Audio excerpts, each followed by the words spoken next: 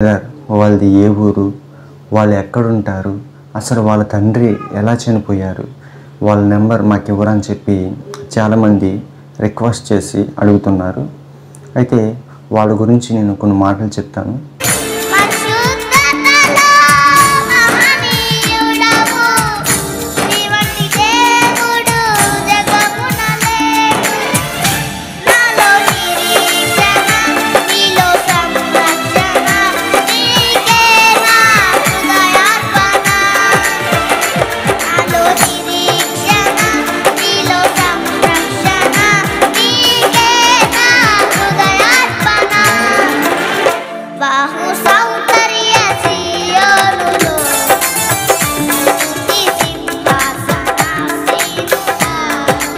వాళ్ళ అడ్రస్ వచ్చేసి ఆంధ్రప్రదేశ్ ఎన్టీఆర్ జిల్లా ఇబ్రహీంపట్నంలో వారు ఉంటారు వారిద్దరు భార్య భర్తలు మంచి సేవకుడు సేవకురాలు మాట.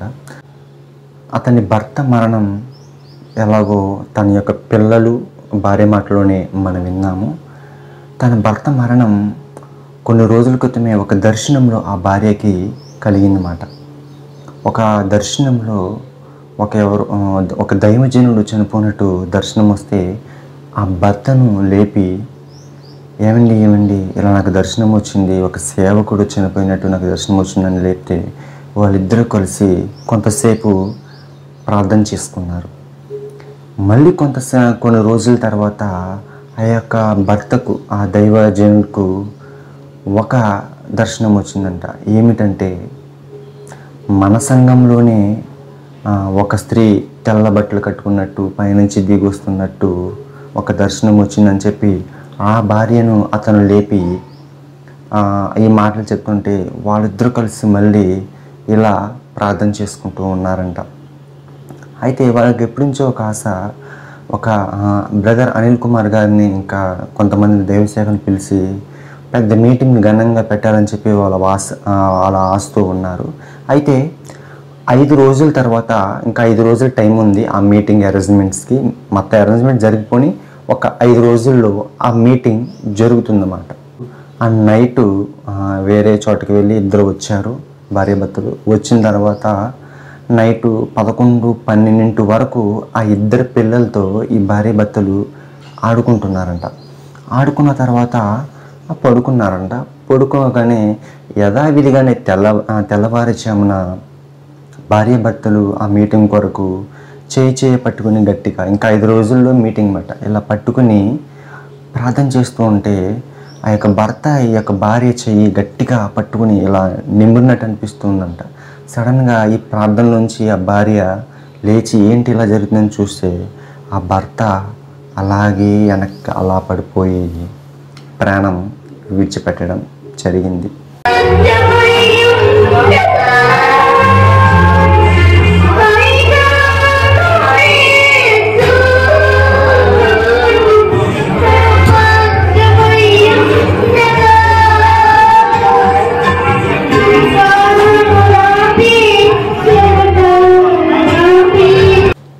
తెల్లవారుదల అందరూ సమకూడారు. ఆ భర్త బాడీ శవం ఎదురుని పెట్టుకుని ఏడుస్తూ కన్నీరు కారుస్తుంటే పాస్టర్ రమేష్ అనే వ్యక్తి ఒక దైవజనుడు పక్కన ఉన్నారంట వాళ్ళు తెలిసిన వ్యక్తే ఈ యొక్క భార్య ఆ భర్త చనిపోయినప్పుడు కూడా రమేష్ గారితో ఒక మాట అన్నారంట.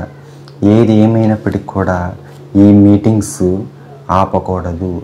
ఎన్ని ఇబ్బందులు వచ్చి మా భర్త చనిపోయిన కారణం చేత ఆ మీటింగ్స్ అస్సలు ఆపొద్దు. ఆ మీటింగ్ యథావిధిగా జరగాలని చెప్పి ఆ రమేష్ ఫాస్టర్ గారితో ఆ, ఈ మాట చెప్పడం జరిగింది.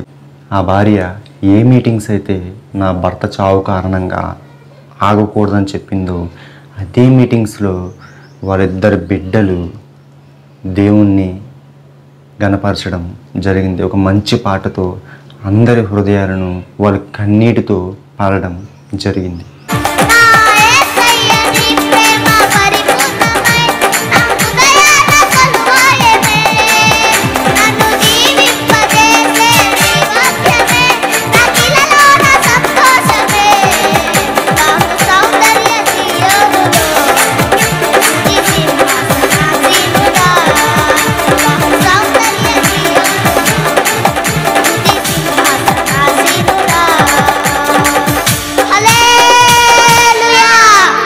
అయితే ఈ యొక్క ఫుల్ వీడియో ఒక భార్య ఆమె భార్య వాళ్ళ బిడ్డల video full video Ramesh pastor గారి ఛానల్లో రీసెంట్గా నైట్ అప్లోడ్ చేయబడింది.